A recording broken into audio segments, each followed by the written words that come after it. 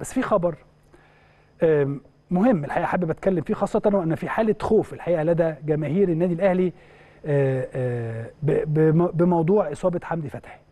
الحقيقة دكتور أحمد أبو عبلة قال مش إسلام دكتور أحمد أبو عبلة قال إن حالة حمدي فتحي مطمئنة.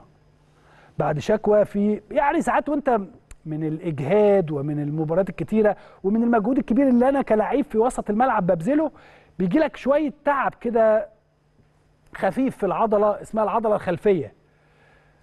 ما هو حمدي فتحي أهو قدامنا أهو. يعني أنا بتخيل أصل واحد يقول لك كده عنده مزق في الع... يا جماعة ما فيش لو عنده مزق ما يجريش كده.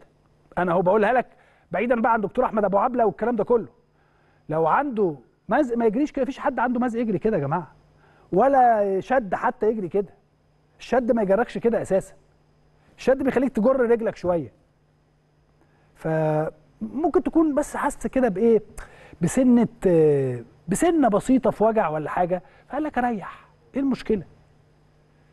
قال الدكتور أحمد أبو عبلة إن اللاعب هي- هيخضع لبرنامج تأهيلي مصغر الحقيقة لتجهيزه لمباراة إيه؟ الوداد.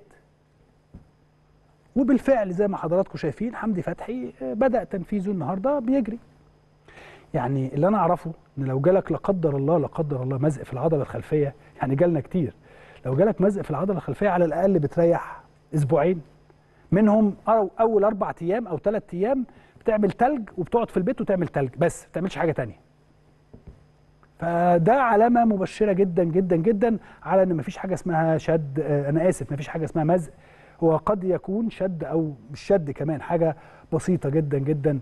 إن شاء الله خلال ال- الفترة ال- أو خلال الساعات الماضية أكدت الأشعة إن الحمد لله الأمور مطمئنة إلى حد كبير وإن شاء الله آه، حمدي فتحي يكون جاهز للقاء الوداد آه، وإن شاء الله أيضا محمد الشناوي وعلي لطفي بينفذوا برنامجهم التأهيلي الخاص.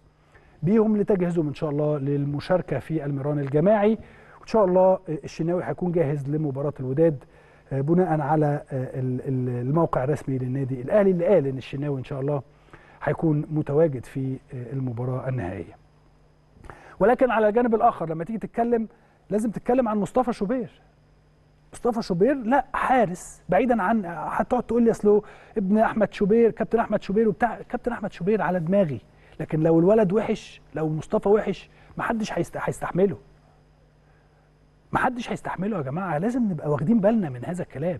مصطفى كلاعب أو كحارس مرمى لاعب جيد وموهوب حارس مرمى جيد وموهوب. ف طيب والشناوي وعلي لطفي هم كمان. بسم الله ما شاء الله الأمور ماشية في تحسن واضح لكل اللاعبين. بسم الله ما شاء الله.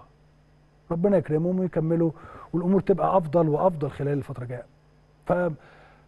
عندنا عندنا حراسة المرمى الحمد لله زي الفل وأمورنا كويسة والأمور ماشية آه، في شكل رائع وفي إن شاء الله إن شاء الله أمور رائعة.